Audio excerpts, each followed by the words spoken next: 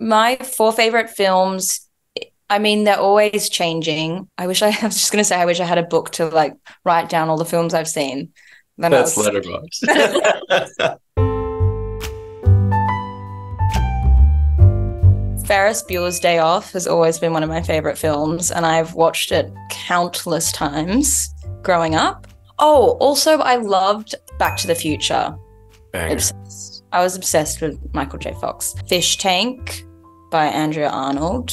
It was a reference for Starling Girl, I think. Um, And it's shot in a very similar way. I think I love that style of filmmaking that's very immediate. And I just love Andrea Arnold's directorial voice. I think it's so unique. Of an Age by Goran Stolevski. He's an Australian filmmaker. It's this film about two men who have a romantic encounter and it's set over like a 24 hour period and then they you jump five years ahead and you see how they've diverged and come back together five years later and it's uh, just so touching and life affirming i love australian cinema so have to have an australian film in there As of right now, we've got American Movie, my favorite documentary of all time.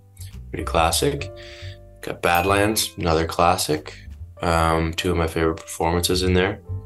Love Liza, not as much of a classic, um, but my favorite Philip Seymour Hoffman performance. Diving Bell and Butterfly.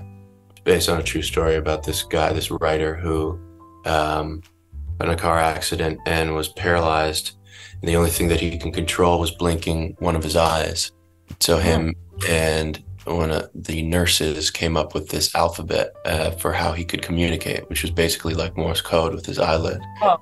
And so he write, wrote a book with his eyelid, oh my god and I it's haven't about seen that. It's Love to beautiful. Yeah. yeah, to watch that